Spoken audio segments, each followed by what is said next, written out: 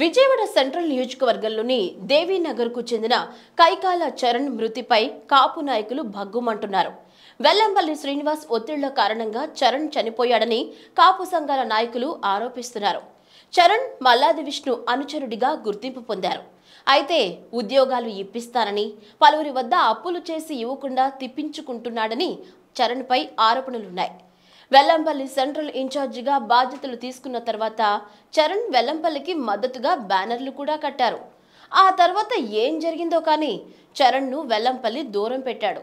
చరణ్కు అప్పులిచ్చిన వారిని ఎగదోసి పోలీసులతో పాత కేసులను తిరగదోడించారని వెల్లంపల్లిపై ఆరోపణలు ఉన్నాయి ఈ ఒత్తిడి తట్టుకోలేకనే చరణ్ మృతి చెందినట్లు చెప్తున్నారు.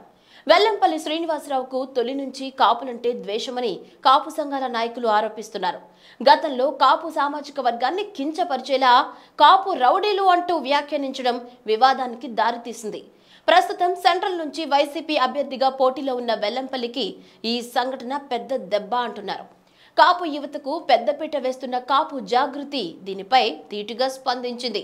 ఆరు వేల మందితో విజయవాడలో కాపు జాగృతి కాపు జేఏసీ నిర్వహించిన సభలో చందు జనార్దన్ మాట్లాడుతూ రాష్ట్ర డీజీపీ ఆధ్వర్యంలో స్పెషల్ ఎంక్వైరీ వేయాలని డిమాండ్ చేశారు. దీని వెనుక ప్రభుత్వ పెద్దలు ఎవరున్నా వెనకడుగు వేసే ప్రసక్తే లేదని కాపుల పక్షాన కాపు జాగృతి నిలబడుతుందని ధ్వజమెత్తారు. కాపు బలిజ తెలగ ఒంటరి తూర్పు కాపు కుటుంబ సభ్యుల్ని అవమానించిన మాపై దాడి చేసిన సహించేది లేదు. ఈరోజు విజయవాడ వేదికగా మా కుటుంబ సభ్యుల మీద వేధింపులు కొనసాగాయి. వారు ఆత్మహత్యకు గురిగా గురయ్యారు. విజయవాడ గడ్డ కాపు గడ్డ అని చెప్పుకున్న చోట మా కుటుంబం మీద మా పక్షాన దాడులు జరుగుతున్నాయి. గుర్తుంచుకోవాల్సిన అంశం ఇది. హెచ్చరికగా భావించుకోవాలి.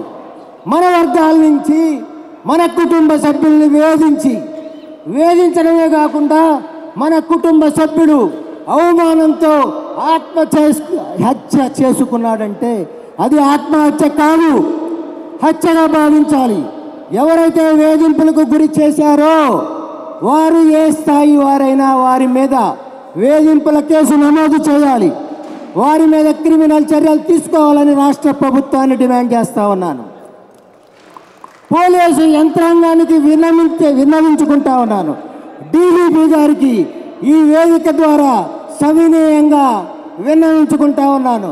ఈరోజు విజయవాడ వేదికగా జరిగిన మా కాపు కుటుంబ సభ్యుడి మీద ఏదైతే వేధింపులు కొనసాగి ఆత్మహత్యకు పాల్గొ పడ్డారో వారిని ఆత్మహత్యగా కాకుండా మేము హత్యగా భావిస్తూ దానిని రాష్ట్ర కాపు చేసి పక్షాన ఖండిస్తా ఉన్నాను. ఈ వీడియో కనుక మీకు నచ్చినట్లయితే సబ్స్క్రైబ్ చేయండి లైక్ చేయండి షేర్ చేయండి.